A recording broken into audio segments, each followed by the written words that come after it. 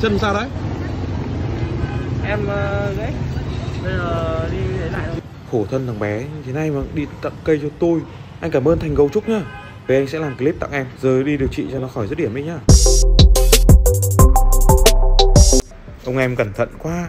Cho cả cây vào cốc tá tưa buộc kín. Cái này thì à, nó không bị mất nước. Tôi rất là háo hức mở nó ra. À ở đây còn một cái túi lông nữa này. Cứ như được kiểu bóc quà ấy hồi hộp phết chứ ui, cái đế nó đều chưa này. Được đấy đây sẽ là cây tre bonsai đầu tiên của tôi. Làm sao để chọn cho nó một cái chậu phù hợp rất là khó đấy.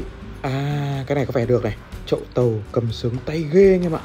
Lót phệt cho em nó một ít Akadama size to Chứ size nhỏ quá thì nó sẽ lọt trong cái lỗ nhỏ ở dưới đáy. Ngồi xuống đây anh nói chuyện nhé Ngồi cho nó chắc để anh thắt dây an toàn cho.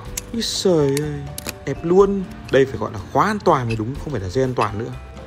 Nhưng mà phải thế này thì nó mới chắc được. Thôi chịu khó nhá để anh cài thêm một dây nữa cho nó chắc như thế này, dù có động đất hay là bão Noru chạy đến thì cũng không thể nào quật ngã được em ý.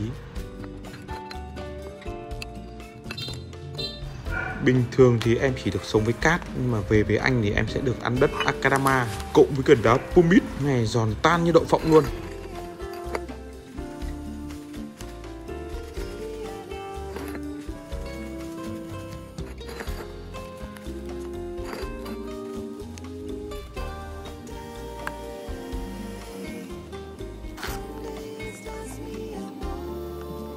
Như thường lệ thì tưới cho em nó một ít nhân sâm, Bồi bổ thể trạng sau một quãng đường di chuyển khá xa, Từ Thái Nguyên lên Hà Nội. À đúng rồi. Bây giờ mình nhớ ra, Tí nữa tôi sẽ đắp cho em nó một ít chăn nhung để em nó ấm, Tại vì sắp đến mùa đông rồi còn gì nữa. Mà khi tưới lên đầu anh em nhớ nhé Anh em phải tưới thật đẫm vào. Tưới cho đến khi mà nước chảy ra khỏi dưới đáy chậu ấy, Nó phải trong vắt thì mới được như đã hứa thì tôi phải phi đi rất là xa mới có thể lấy được cái đám rêu nhung này. Rêu này có một cái lợi là khi mà mình ờ, tưới nước ý, thì chất trồng nó sẽ không, không bị văng ra ngoài nữa. Với cả là nó sẽ giữ ẩm cho cái chất trồng tốt hơn. Nhưng mà các bạn phải rửa cái rêu cho nó sạch một chút nhé cái rêu này tôi khai thác ở chỗ rất là sạch cho nên là khá là yên tâm khi mà tôi đắp vào cho cây. Với đây chính là cái thành quả mà từ sáng giờ tôi hiu mãi. Nhưng mà có một điều là tôi chưa biết uốn dáng gì cả cho nên tôi để mộc đã.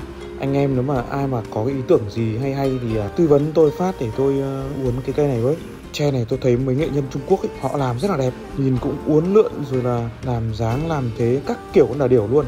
Cây của mình thì mới là phôi thôi còn một quãng đường rất là dài nữa mới có thể chơi được.